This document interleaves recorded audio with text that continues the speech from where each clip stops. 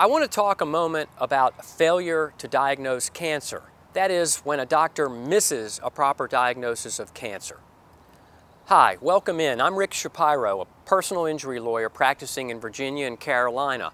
And today I'm talking about missed diagnosis of cancer cases.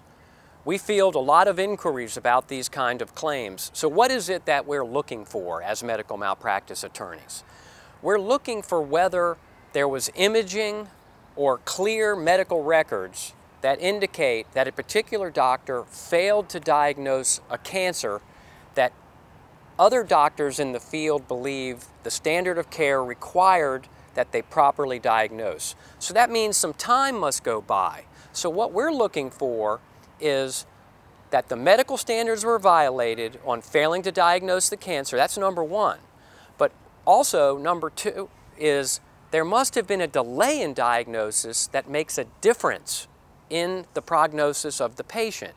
So a delay of three months, is that enough? A delay of six months, is that enough? It all depends on the type of cancer and what stage the cancer is when the diagnosis is finally made.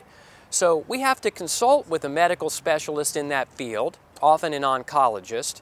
We have to determine the stage of the cancer and what difference it makes to the survivability of the cancer.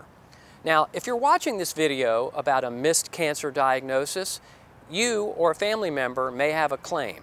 Now, every week of the year, we deal with people just like you when we're not in court or at a hearing.